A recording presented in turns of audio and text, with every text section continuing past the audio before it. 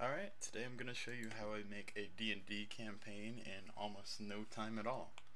Uh, first step, go to Roll20, that's how we're doing this, and download this plugin.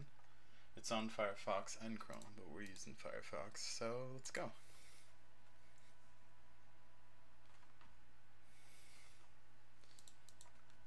So, alright, so we'll, we'll call our campaign Book Learning because we're learning some stuff. Template, we want D&D 5e. Good. And for a module, we'll pick the Master's Vault, because that just has a bunch of useful stuff. And let's go. first off, first thing we want to change. Don't allow people to import their own characters. If they want to do it, they can do it through you. That's my opinion anyway. Compendium settings. Yes. Let's kill that. Come on.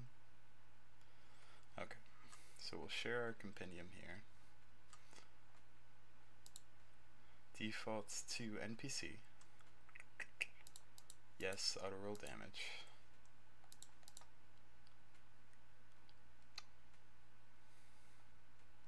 Good, good, good. We're gonna hide that. Save. No. Compendium settings.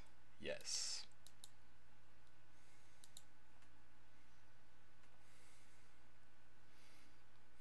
Good. So we own the player's handbook, so we're gonna let that be shared. So let's let's let's get into it. Unless. Do like instant NPC cards. I believe that's a free one that helps you just generate NPCs. We'll, we'll add it. Alright, so Master's Vault comes with a few maps. We don't care about these, so get rid of that. Alright, so we're in the tabletop now.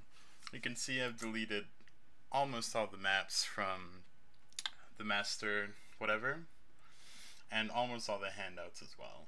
We don't need most of these. Rule handouts are handy to have so you can just show your players and you have a reference for everything. But we're going to need a PC token page almost always on Roll20. And then we'll have a separate page that's for a battle map. So this will be our battle map page. But let's show you how to make a token. Cool. So we're Okay, so we found our token image and we've copy pasted it into GIMP. Boom.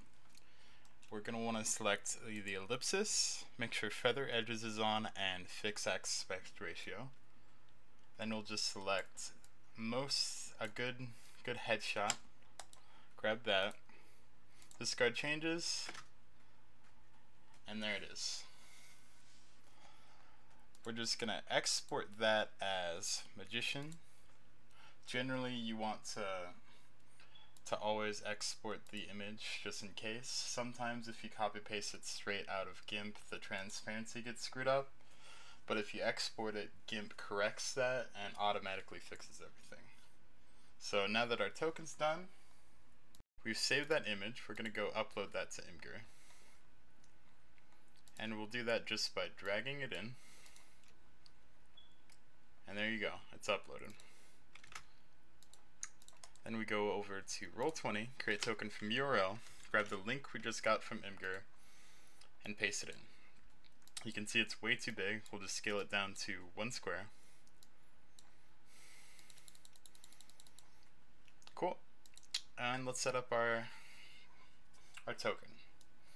First thing I like to do, just as a general reference, you don't need to do this in most situations, but you'd put your HP, and there should be a bar over here once you've linked it with the sheets. Let's actually go ahead and do that right now. We'll add a character for our player. That character will be named Lion. So now we have a sheet here that we can use for our token. So in our token settings, we're going to make sure that says it represents lion. we're going to go find HP, click that, and then we'll do our border for the token. You go in settings, and in Aura, you do 0 0.1, 0 0.1, and you can click on this color and change it. We're not gonna. And then you go in advanced, make sure both of these have C checked, and if it's someone they know, click C on name as well.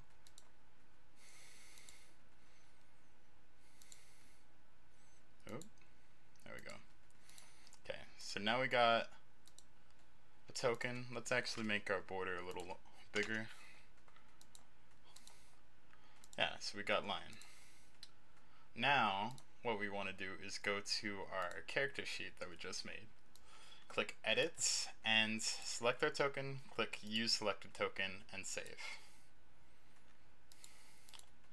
Now that we've done this, whenever we make a new map, it's very easy to add the player back into that map. All we gotta do is drag out, boom, you're done. There's Lion. So let's go make our battle map. First, I want to delete this page I accidentally made. Deletes. And for your battle map, you want to double check a few settings just to make sure they're alright. This should be set to default, but it'll screw up if it's not. So make sure grid's on, square, and it's D&D measurements. And I went and found a, forest battle map here.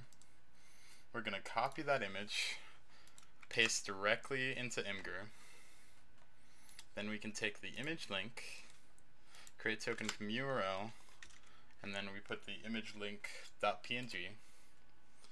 You can see it's a little small, so we'll right click, resize fit, it's perfect size.